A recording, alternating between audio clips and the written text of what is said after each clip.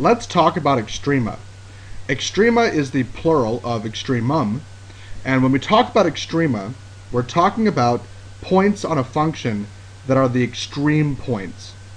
So for example, this red point right here at the end point, the left end point, is called a local or a relative minimum because it is a minimum compared to all the points around it. It is the smallest or the lowest point comparatively. Right here, we have what is called a global or an absolute max. It is the global max because it is the highest point on the entire function that we've created here from the left endpoint to the right endpoint. This is the highest point.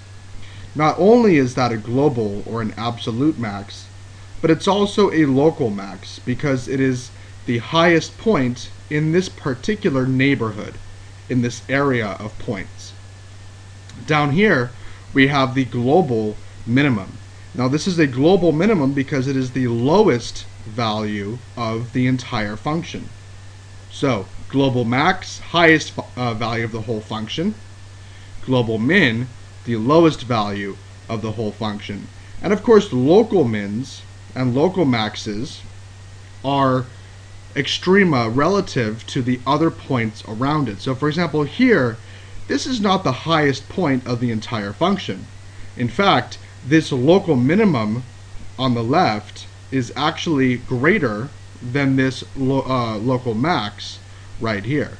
But the reason why it's a local max is because relative to all of the points around it, it is a maximum.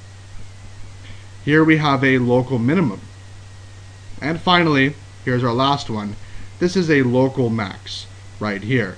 So our endpoints tend to be local max or min.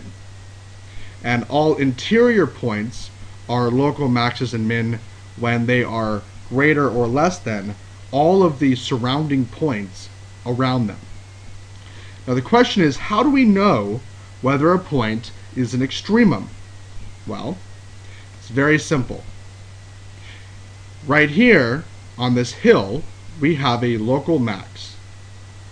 In this valley, we have a local min. Why is this a max right here? Well, it's a max because our function increases and then stops and then it decreases. Or in other words, if this function is y, then y prime is positive on the left-hand side, and y prime is negative on the right-hand side. So, our derivative, dy dx, is changing from positive to negative. And of course the max is 0 right in between. So we have a relative maximum when the derivative changes from positive to negative. If you ever forget, just make a, uh, a hill with your fingers and then you'll see where that max lies, positive to negative. Likewise, we have a min when y prime goes from negative, say we have a negative slope here, to positive. Here we have a positive slope. So, when our derivative changes from negative to positive, we have a local min.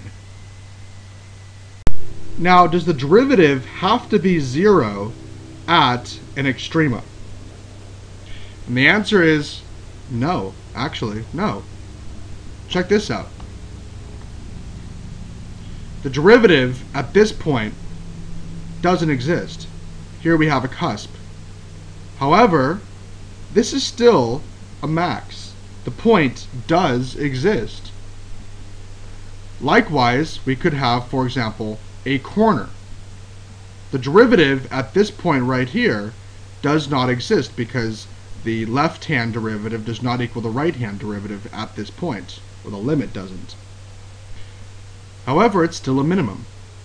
And so, there are a couple of points that we need to check out when investigating maxes and mins. We want to find where our derivative is equal to zero, like a hill or a valley, or where it doesn't exist. And that would give us either a corner or a cusp or a vertical tangent line possibly. although a vertical tangent line wouldn't actually be an extrema. However, we got to check it out anyway. So when looking for extrema, we have to find what are called critical points. And critical points are where the derivative is equal to 0 or undefined. We will be finding a lot of critical points from here on in this section.